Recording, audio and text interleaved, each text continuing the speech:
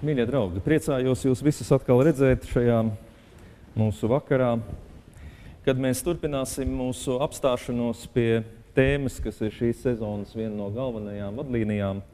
Proti, jūs jau esat to visi labi informēti. Mēs apstājamies pie dažādām tā saucamajām dvēseles kaislībām, vai kā mēs viņus sauksim un saucam dvēseles mocībām vai mocītājiem, kas mūs mēdz mocīt mūsu garīgajā pasaulē, iekšējā pasaulē.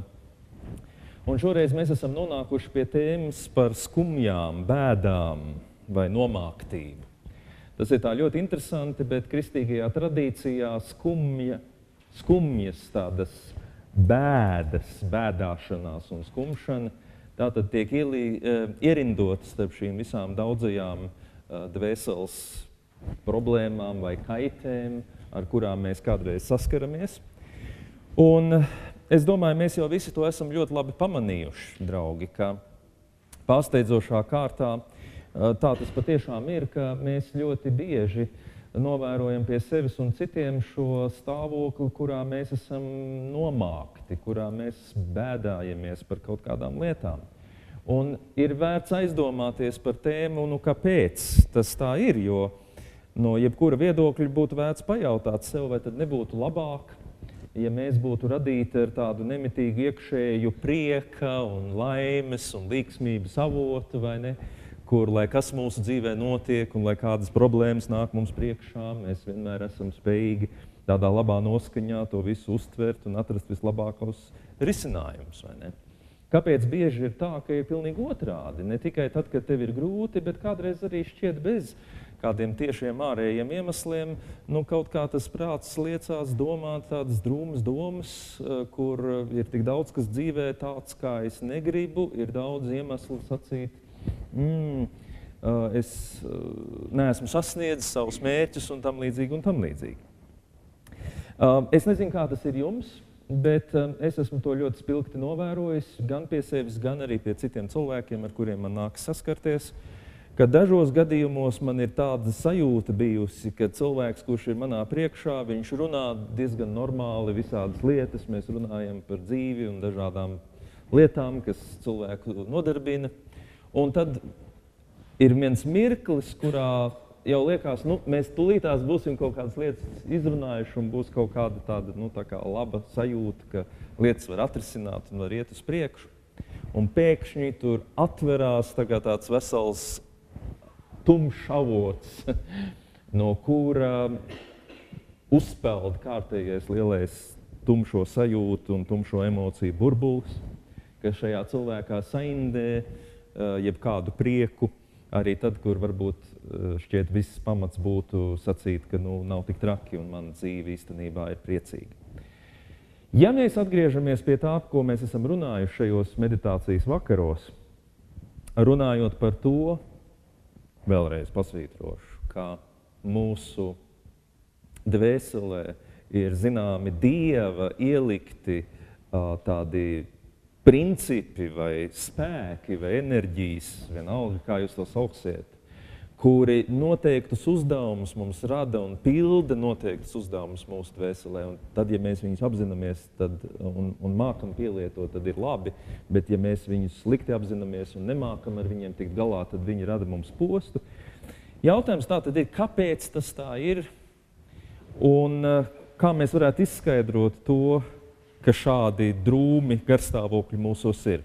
Jo es vēlreiz pasvītrošu, pirmajā brīdī, mums ir, starp citu, nepareiza sajūta, ka uh, būtu taču labāk, ja mums šo drūmo, skumjo brīžu būtu mazāk.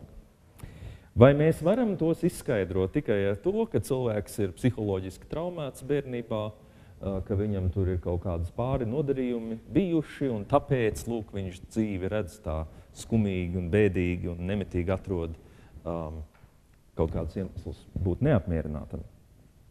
Un redziet, interesanti, ka tās jaunākās atziņas attiecībā par cilvēka dvēseli, par mūsu smadzeņu uzbūvi, kārtējo reizi apliecina šo seno tūkstnešu tēvu un kristīgo mistiķu pieredzi, ka mm, jā, šeit mums ir darīšana ar vienu no dvēseles mocītājiem, vienu no konstantēm mūsu dvēselē, kas nav atkarīga no mūsu audzināšanas, bet lielā mērā ir atkarīga no mūsu nervu sistēmas uzbūves.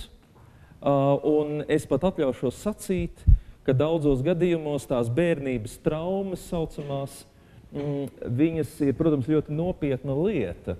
Bet pieredze rāda, ka daudzos gadījumos cilvēki var būt piedzīvojuši visnotaļ līdzīgas situācijas, un tai pašā laikā tas pēcefekts ir ļoti atšķirīgs. Viens tātad piedzīvo kaut ko drūmu, un sarežģītu un sāpīgu, un tas viņu padara dziļāku, inteliģentāku un jūtīgāku cilvēku, kurš ir spējīgs vēl ar vienu atrast dzīvē ļoti daudz laba, un citam notiek līdzīga lieta, un tas padara viņu īgnu un, un, un, un mūžīgi neapmierinātu cilvēku. Un izrādās, ka tas, tā versija ir tāda, ka tas ir vairāk saistīts ar mūsu Uh, uzbūvi, ja tā var sacīt, ar mūsu dvēseles uzbūvi, nevis ar šīm atsevišķām epizodēm. Respektīvi, ko es gribu sacīt, cilvēks ar noteiktu nervu sistēmas tendenci vienmēr atradīs savā bērnībā to traumu, kuras dēļ pasaule ir melna. Es ļoti, ļoti atvainojos. Es uh, nenoliedzu, ka ir iespējams mums piedzīvot kaut ko tādu, kas vienkārši sagrauj mūs. Es tiešām to nenoliedzu. Bet tai pašā laikā pie noteiktu uzstādījuma mēs visi varam atrast kaut ko, kas mūsu dzīvē nav bijis labi. Un līdz ar to, protams, vienmēr atrast arī kaut kādu attaisnojumu tam, kāpēc mēs tik drūmi skatāmies uz lietām. Um, redziet, Tas, manuprāt, ir atvieglojoši, ja mēs uh, pieturamies pie šīs te kaislību teorijas. Jo tas mums pasaka to, ka, ja ir tā, ka mēs šīs skumjas sevī ļoti jūtam, ja mēs esam cilvēki, kuriem ir grūtības ar to uh, pacilātību un tādu gaišu noskaņu, tad tas varbūt nav tāpēc, ka mēs esam slikti cilvēki, un tas arī nav tāpēc, ka kāds mums ir kaut ko sliktu izdarījis, bet tā ir viena īpatnība, kuru mums ir jāņem vērā un ar kuru mums ir noteiktā veidā jācīnās noteiktā veidā ir metodas, ko mēs ar to varam darīt. Priekš manis, manuprāt, tas ir ļoti atvieglojoši to apzināties. Tāpat kā ļoti daudziem cilvēkiem, citu, kas slimo ar depresiju, tas ir uh, ilgs laiks, kamēr viņi atzīst to, ka tā ir problēma un ka tā ir eventuāli medicīniska problēma. Bet tad, kad viņi to ir atzinuši, tas ir milzīgs atvieglojums. Jo līdz tam viņi ir domājuši, ka es esmu vienkārši slings vai slikts cilvēks, vai vēl kaut kas ar mani slikts. Bet izrādās, nē, nu, tur kaut kādas lietas manās, manā nervu sistēmā vienkārši ir pamaināmas un izrādās, ka daudz kas manā dzīvē sakārtojas. Kas tad ir šī eņģeļa uzdevums? Atcerieties, mēs katru kaislību apskatījām kā eņģeli, kas ir pārvērties demonā. Tā tad ir kaut kāda pozitīva evolucionāra programma mūsos, kura diemžēl noteiktos apstākļos pilda nevis pozitīvu, bet ļoti negatīvu lomu tajā, kā mēs jūtamies un kā mēs dzīvojam. Un, ja mēs meklējam to pozitīvo, tad izrādās, ka mūsdienās pētnieki ir ļoti daudz labas lietas rakstījuši par tādu tēmu, ka uh, izrādās no evolūcijas, no tādas dzīvības uzturēšanas viedokļa, tas ir ļoti pašsaprotami, draugi, ka mums visiem, absolūti visiem, uh, ir mūsu smadzenes tā būvētas, ka savu negatīvo līdzšinējo pieredzi mēs atceramies daudz spēcīgāk, ilgāk, un tā atrodas daudz tuvāk mūsu apziņai nekā mūsu pozitīvā pieredze. Un atkal, ja mēs tā padomājam, tur ir sava loģika. Ja? Tā, man liekas, es pagājušajā vakarā jau mazliet to ieskicēju, ja? ka, ja teiksim, tu esi kaut ko garšīgu apēdis, tas, protams, ir brīnišķīgi un jauki. Un kādu brīdi tu varbūt to atceries, ka tas bija garšīgi un viss ir kārtībā. Bet, ja tu esi apēdis kaut ko, kas ir gandrīz tevi noindējis, un tu teiksim, esi sajūties ne, ļoti slikti, tev ir ļoti svarīgi to atcerēties, lai tu nākamreiz to nēstu. Lai tu nākamreiz neizdarītu kļūdu, kas tev ir maksājusi tik ļoti dārgi. Un, uh, tas nozīmē, draugi, ka tā nav jūsu vaina. Jūs neesat negatīvi cilvēki, ja jūs negatīvās lietas atceraties vairāk un ilgāk. Un par to psihologi runā nepārtraukti. Gan, ka mēs to atceramies, gan, piemēram, ka mēs par to runājam ka vienmēr, jūs zināt, visi tur mārketinga speciālisti jums to pastāstīs. Ka, ja jūs vienu cilvēku aizvainosiet, viņš apstaigās desmit citus un pastāstīs, kā prāts, kā tur pie viņiem notiek, kā viņi tur nesaprot lietas un kā viņi cilvēkiem dara pāri. Ja jūs izdarīsiet kaut ko labu, tad tas cilvēks varbūt kādiem pāris cilvēkiem pateiks, ka nu, jā, bija jau labi, vai ne, un īstenībā tur ir labi. Negatīvās lietas mēs stāstām viens otram daudz vairāk. Un padomājiet, ko tas nozīmē. Tas nozīmē, ka mēs viņus jūtam ļoti spēcīgi. Tāpēc mēs par viņām runājam. Un tas, ka mēs viens otram tās negatīvās lietas stāstām, tas tikai nozīmē to, mīļie draugi, ka arī savā informatīvajā vidē, arī no cilvēkiem, kas ir mums līdzās, no televizoriem un tā tālāk, mēs pamatā saņemam negatīvās ziņas. Kāpēc ir tā, ka tad, kad ir nokritusi lidmašīna, tad viss pagriež skaļāk? Tas ir tieši tas pats mehānisms. Kāds cilvēks šodien iegāja veikalā un tur viņam pārdevēja uzsmaidīja. Panorāmas ziņa. Nu, mācītāji. Mozambikā desmit cilvēki nokrita no tilta. Nu, tas ir kaut kas. Ko tev tā Mozambika nozīmē? Nu, īpaši jau neko, bet, bet nu, žēl cilvēkus. Īstenībā, draugi, tas ir kā mēs esam veidoti. Tādas ziņas piesaista mūsu uzmanību, tādas ziņas mēs atceramies, tādas ziņas mēs reproducējam. Kaut arī kādreiz, draugi, godīgi sakot, mēs varētu mierīgi viņas nereproducēt. Mums tur nav nekāda pozitīva ieguvuma. Izņemot, ja mēs atceramies šo evolucionāro pamatprincipu, ka tas ceļās no šī it kā pareizā uzstādījuma, ka mums vajadzētu paturēt prātā to, kas ir bijis slikts, lai no tā izvairītos. Sekas tam ir diezgan trakas. Ja vien mēs neko ar to tā īpaši nedaram, vai ja mums nav paveicies, un proti mums šī sistēma, varbūt mums ir paveicies, un mums šī sistēma kaut kā tā ļoti vāji darbojas vai nedarbojas, un tad mēs esam varbūt optimisti, mūžīgie, ir jau arī tādi cilvēki. Bet, ja mēs esam vidusmēra cilvēki, tad tas nozīmē vienu lietu. Mēs dzīvosim ar sajūtu, ka mūsu dzīvē noticis diezgan daudz viskaut kā. Un, kas ir trakums, ka tad, kad manā priekšā nāk kārtējā situācija, es kā likums pirmkārt pieņemšu sliktāko scenāriju, nu, kaut kur vismaz fonā es viņu izskatīšu, ka tagad var kaut kas slikts notikt, jo mēs jau esam bijis līdzīgā situācijā. Un, kas ir vēl interesantāk, ir, ka kādreiz, par cik šīs manas atmiņas ir galvenokārt tās problemātiskās atmiņas, es ļoti viegli piemeklēju kaut ko, kas aptuveni atbilst esošajai situācijai, un uzklāju viņai virsū uh, šo pagātnes pieredzi tā, ka pat lieta, kura šobrīd objektīvi ir citāda un varētu tikt uzskatīta par labu lietu, vienalga manā apziņā ir kaut kas negatīvs. Un tad mēs ļoti ātri nonākam pie visām kaislībām raksturīgā aburtā cikla. Visu kaislību pamatideja, ka viņas pašas sevi uzvelk. Atcerieties, arī par to esam runājuši. Un šeit tas princips ir ļoti interesants. Tātad, ja tu reiz uzsēdies uz tā negatīvā viļņa, nu, tā ideja ir tāda, ka tu visu laiku domā, ka tas otrs cilvēks uh, kaut ko sliktu perin. uh, ja tu uzsēdies uz šī viļņa, ir ļoti grūti no viņa nokāpt. Kāpēc? Tāpēc, ka tava uztvere attiecīgi piemeklēs un atradīs vissīkākās detaļas, lai pierādītu sev to, ka šī situācija ir tāda pati kādu jau es esmu piedzīvojis. Manas negatīvās asociācijas un atmiņas pasliktina manu garstāvokli, un jo man ir sliktāks mans garstāvoklis, jo vairāk es turpinu redzēt lietas negatīvi. Un tā es šajā atverā ārkārtīgi ātri varu ieiet un diezgan ātri novērtēt. Es redzu lietas aizvien drūmāk. Jo drūmāks es esmu, jo drūmāk es redzu lietas, jo vairāk drūmumu es saskatu, jo drūmāks es palieku un aiziet. Uz līdzenas vietas cilvēks ir spējīgs iegrimt tādā kā purvā, no kura viņš īsti netiek laukā. Un, ja jūs domājat, ka tās ir kaut kādas dīvainas lietas, nē, lasiet Bībeli. Un Bībelē tas ir aprakstīts ar diviem ļoti bieži lietotiem vārdiem, gan vecajā, gan jaunajā derībā. Proti, parasti to sauc par zudīšanos un kurnēšanu, vai kurnēšanu un zudīšanos. Ja jūs, piemēram, lasat uh, vecā derībā, kā izrēlieši dodas laukā no Ēģiptes, tad tā ir, tā ir konstanta lieta. Ejam, ejam, ejam, ejam, un sāka viņi kurnēt. Un sāka viņi zudīties, ko tu mūs te atvedi, mēs te tūlītās nomirsim. Eģiptē vismaz bija sīpoli un gurķi, te mums nav vairs nekā.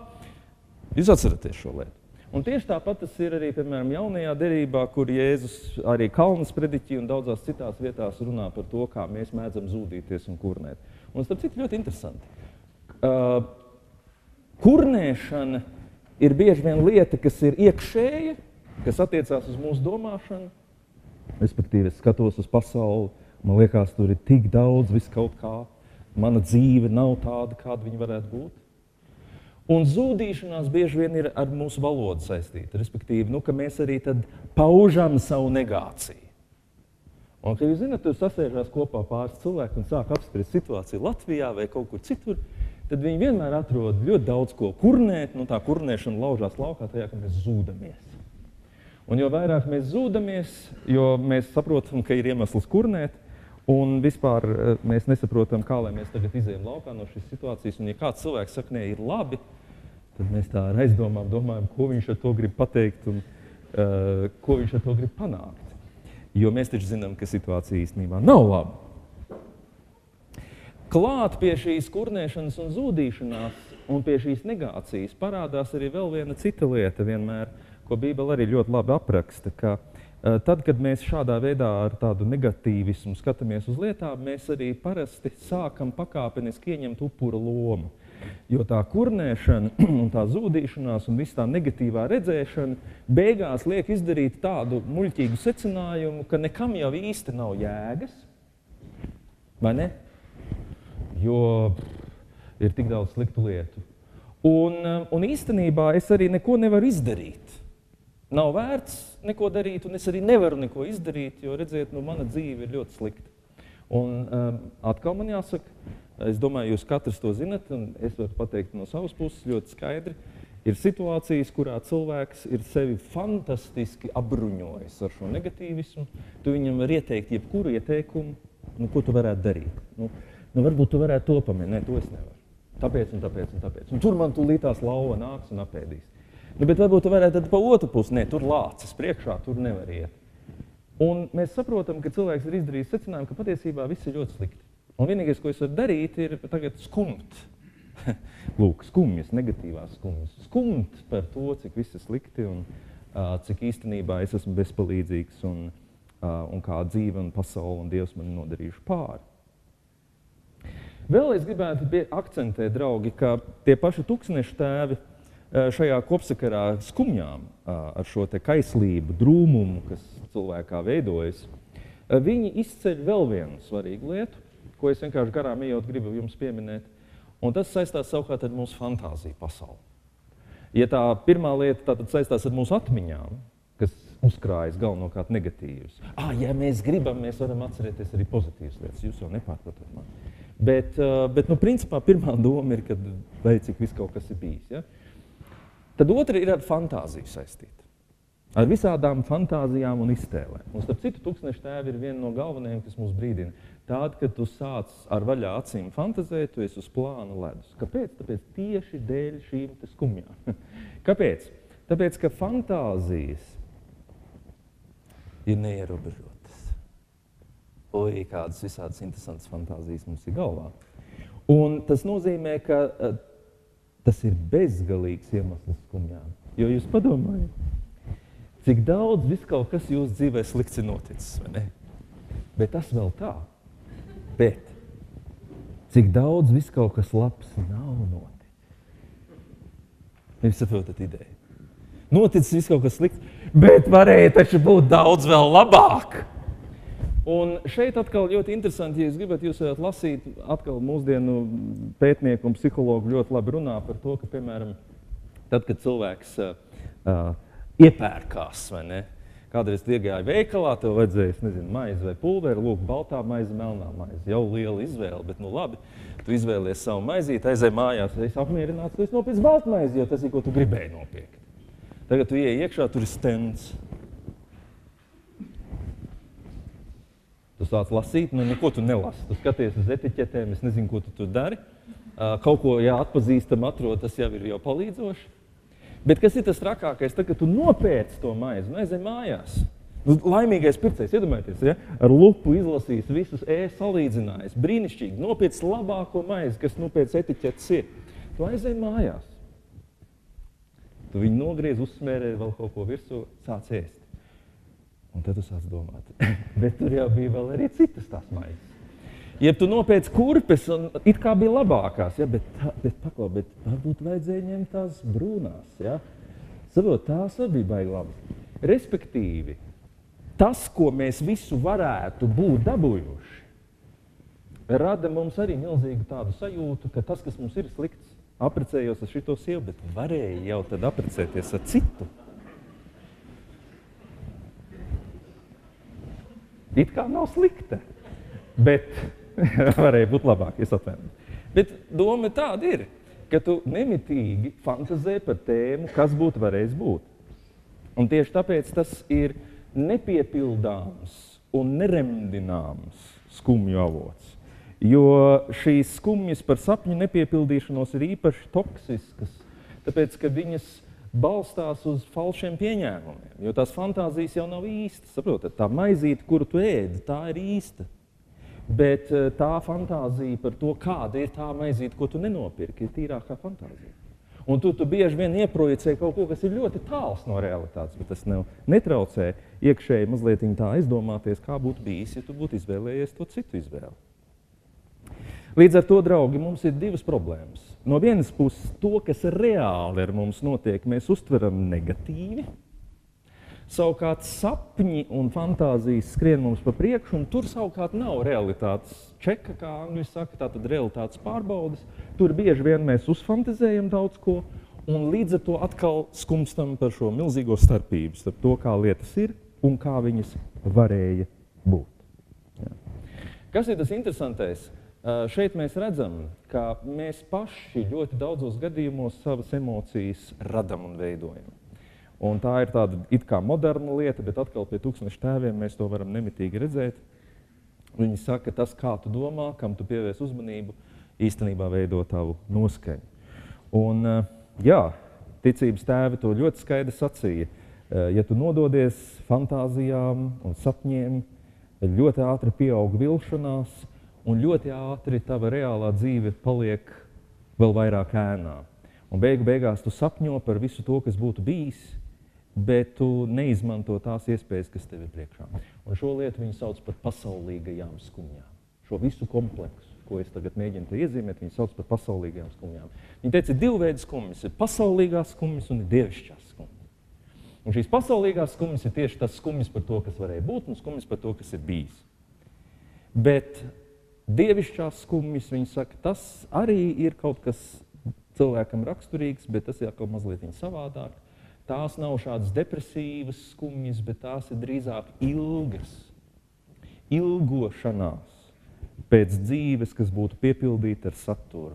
Ilgošanās pēc tā, ka mēs gribētu būt cilvēki, kuri labāk pazīstam Dievu, kuri pilnvērtīgāk spējam savu dzīvi dzīvot. Un es gribētu to sacīt, skumjas kā tādas nav negatīva lieta.